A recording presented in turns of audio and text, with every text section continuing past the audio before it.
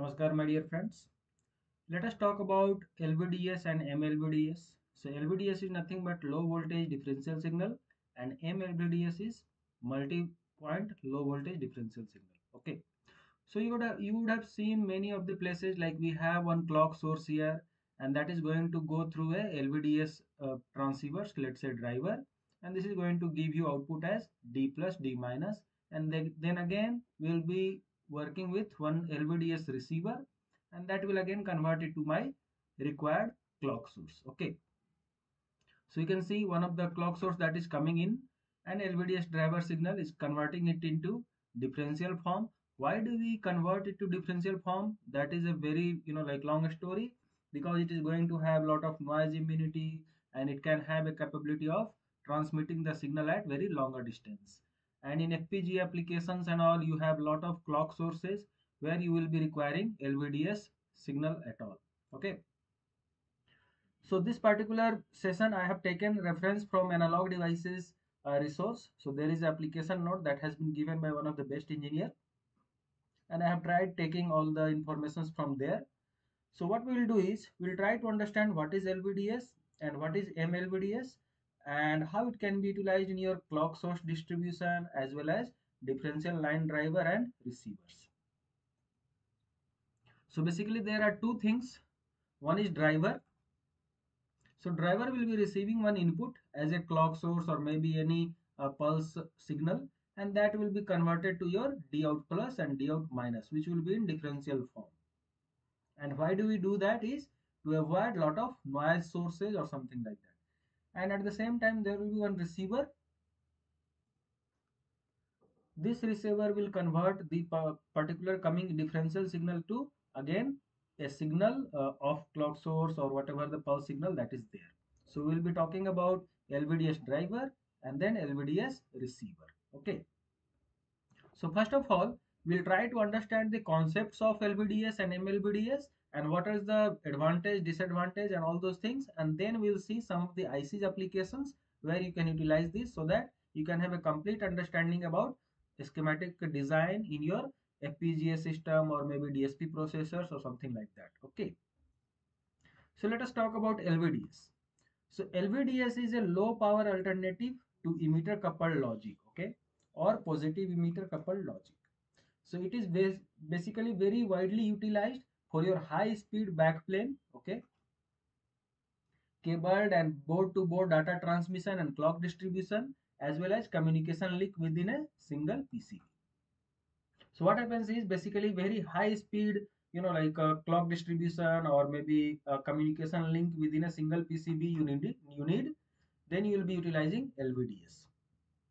What are the some advantages is it can communicate at a speed of up to 1 Gbps or even more it has very reduced electromagnetic emissions. It has very good increased immunity to noise. The best thing it it has very low power operation okay? So very low power consumption will be there.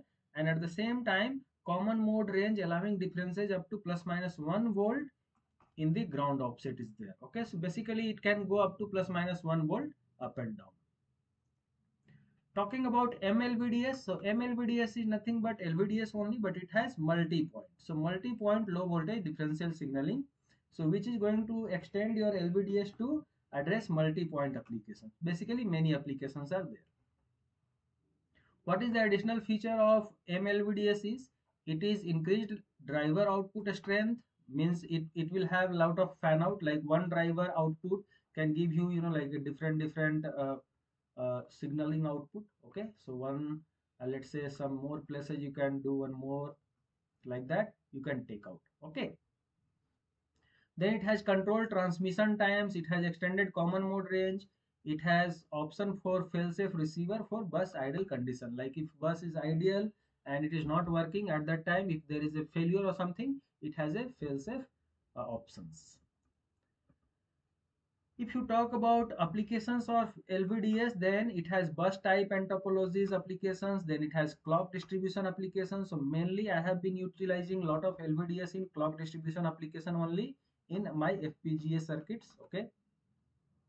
Then we have characteristics of LVDS signaling.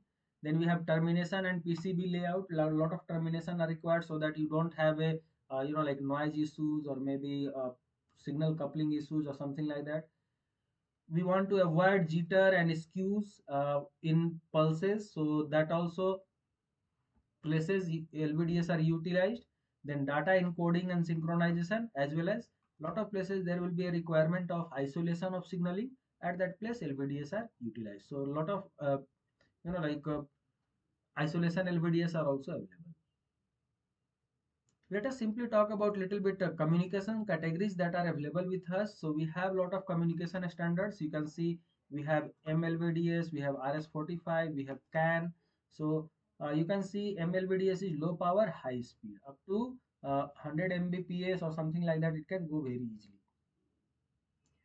Mlvds is uh, sorry rs485 is uh, you know like very long distance but it has very low data rate up to around 16 mbps then if you see CAN protocol that is basically utilized in your automotive application. So it has also a very less distance around 40 meters of application but data rate is even lesser than RS485 that is just 1 Mbps. Okay.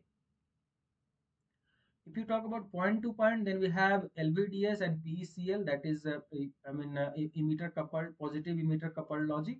So we have LVDS 5 meter to 10 meters and data rate is very very high which is going to be 1 Gbps right. For positive emitter coupled logic we have even higher data rate which is up to uh, 3 Gbps but very short distance that will be. Now let us get into the block diagrams and the applications and you know like operations of LVDS. So if you see LVDS point to point link we have a data in let's say we have a clock source or maybe data signal that is coming in terms of pulse. So that will get converted to your d plus output and d minus output. So basically it will be positive negative and like this it will be converted okay? Then there will be a receiver. So we will be utilizing receiver. This is nothing but a termination resistor which is actually utilized for uh, matching the data line. So you must consider that this is the particular line and this particular line must be matching like let's say Z naught must be matching with your this RT node right? RT now receiver will be converting this particular differential signal to again actual signal which is there at the in right? So this is how you will be getting your required signal. Uh, since I have taken it from uh, analog device application note so there are a lot of part number that has been given for number of transmitters and receiver. Transmitter is nothing but your driver and receiver is nothing but your rx okay? So if you want to utilize uh, adn 4661 you can go ahead with uh, only one driver is there just like this. If you utilize dn adn 4662 then you can go for uh, one uh, receiver. So this is how it is working. Similar to that other parts are there which you can go through by yourself coming back to multi-point. So what happens is this lvds can have multi-drop buses also. So let's say one lvds driver is there. Now what is going to happen is instead of having one lvds receiver we can have three lvds receiver okay? So what happens is multi drop point. So one bus is going to go here then one more bus is going to go here then one more bus will be going to go here okay? So this is how you are going to receive three outputs. So one signal like one clock source can get converted into three outputs. Okay, so this is how you are going to have a clock distribution kind of thing. Okay, and in this, uh, this will be actually in terms of uh, like differential form that you already know, right? So this is how it will be coming back to uh, MLVDS, so MLVDS half duplex, full duplex, we'll understand like what is half duplex and full duplex. But first we will understand what is it, right? So what is going to happen is MLVDS transceivers means it is going to have driver and receiver. Both are together or DR I can write it as TX, okay, transmitter and receiver. So DIN is coming and then it is going to get converted to your differential signal and then it is going to go to your receiver. So the purple color is or pink color is your receiver and the bluish color is your driver. Okay? Now what is happening is half duplex what happens is there is only one bus that is there.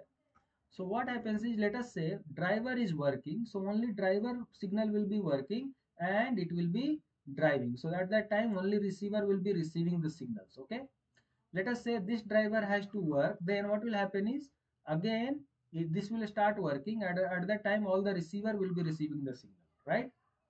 Similar to that if another driver has to send the signal then other driver will be keeping quiet and at that time bus will be utilized for that one okay? So this is how half duplex. Full duplex means let's talk about full duplex. So full duplex will be having two you know like buses one will be for driver signal. Another one will be for the receiver signal. And both can work at a time. So you can see driver signal let us say we have one clock source that is going. Let us say we have one clock source that is going into this. So this bus will be utilizing that one uh, to convert it into it into uh, like let us say uh, we have differential signal and then it will go and go into your receiver output. So this one will be there this one will be there this one will be there like that they will be taking out. Similar to that let us say this is the uh, driver that is sending the signal. So this bus will be utilized and this bus will be sending the signal to your receiver. So this will be sending to receiver output or this receiver output or this receiver output. So like that it will be so that's how both of the buses will be utilized together. At that at that place it is called as full duplex. There are n number of lvds or m like mlvds that is multi-point uh, low voltage differential signaling. So you can see we have half duplex type we have full duplex type we have number of receiver and number of you know like transmitters both are there. Okay now let us talk about clock distribution applications so since i told you just now i think just now you had seen as well like we have one clock source here okay? And this lvds clock source will be converting it, in, it into differential signal d plus d minus and then three clocks you will be receiving. So this is how you are distributing your signal uh, one single clock to your one two and three. So this is how three clock sources you are getting for three different purposes you can utilize in your let us say FPGA circuit where you have different applications. So this is how uh, multi-drop LVDS are very very useful for your clock distribution application. If you talk about output labels so what happens is let us say uh, we have V output plus and V output minus like uh, D out plus and D out minus you saw right? So this is how D out plus and D out minus is going to work on so let us say logic 1 means V output plus will be high and uh, logic 0 means V output plus will be low for logic 1 okay? And for logic 0 it will be low and the green is actually D out minus so that will be high. So if negative is high it means logic 0 and if positive is high means it is logic 1 okay? And you can see uh, since it is differential so uh, the difference will be from between this to this so it can be like 1.2 volt okay? Like let us say 1.35 volt minus 1.05 volt so the difference will be 1.2 volt. So you don't have to consider uh, like differential signal will be you know like uh, having no reference like it will it will not it, it should not be considered through ground. Like it can be considered difference of these two signal okay? Now what will be your outputs output is nothing but your v output plus minus v output minus. So see what is going to happen. You can see uh, this uh, positive output and negative right? So if you see this negative like uh, 1.05 minus 1.35 so minus 0.3 so minus 0.3 volt you are getting? So this will be your negative clock and this will be your positive clock. If you see here it is going to be 1.35 minus 1.05 that is 0.3 so this is how the output will be received. So input was same same way output was also same. If you want you can have lower logic level or lower uh, voltage level shifting as well. If you talk about driver and receiver so this is how we have been explaining you. Like let us say we have ADN 4663 which has two drivers and ADN 4664 which has two receivers so we have two signal that is going into data in 1 data in 2 and we have two differential signal outputs that is data in 1 uh, data out plus 1 and data out 1 minus and this data out 2 plus and data out 2 minus. And these two can be uh, sent to your receivers and this receiver will be giving you the output r out 1 and r out 2 similar to this data in. Okay? So data in will be going to data out by utilizing your two LVDS one is your driver one is your receiver okay? So that's all about, about all these things. Now now let's talk about you know like how point to point termination actually occurs. So as i have been telling you this is my lvds driver this is my lvds receiver. So there is a termination resistor that you are using let us say 100 ohm or sometimes it is used as 50 ohm. So it will be mentioned in the data sheet of your lvds uh, driver or receiver okay? So what happens is this is the trace that you have to manage okay? So this trace must be matching to your rt so which must be z naught is equal to rt okay? So it means z naught must be equal to rt which is going to termination matches cable trace or impedance okay? So cable trace impedance must be matched with your termination resistor. Otherwise there will be you know like a lot of fluctuations or you know like noise uh, immunity will not be uh, uh, i mean achieved. Now let us talk about little bit of isolation as i have been talking to you. So if you talk about isolation let us say we have power supply here. So we have let's say input 1 input 2 so these input signal or these input clock can go and this is isolated uh, lvds driver or let's say isolation barrier. And this isolation barrier is sending the data out in same fashion like in one in two has been going to yes you know like output here. Now this is going to go as a data input to your lvds driver. So lvds driver will be sending the signal into your differential form okay? So this will be positive negative logic that will be going. And similar to that in2 has also been you know like sent to your data output in differential form. So first you have isolation barrier, then you send to your LVDS driver. Understood? Similar to that, this signal which is differential form can be sent back to or let's say sent to your receiver. So receiver will be receiving the differential form input and then it will be converting into your R out one which will be a single uh, you know like signal and this uh, signal will be sent to your out one out two. So this is how FPGA has sent the clock source and then received the clock source or feedback, something like this. Alright, so hope you have a good understanding about what are the different levels of, you know, like LVDS and how LVDS actually works. So what we'll do is, in our next session, we'll try to understand different, you know, like ICs for, for LVDS signaling and we'll try to understand how it works, okay? So we'll take two examples. One will be like ADN4661 driver and one will be ADN4662 receiver. And both of their application circuits we will see so that we can have a particular understanding and a industrial environment knowledge of how to put these particular things in your circuit designs. So hope you have a good understanding now. Please put down your queries and comments in the comment box so that we can give you uh, answers if there is any, right? Thank you.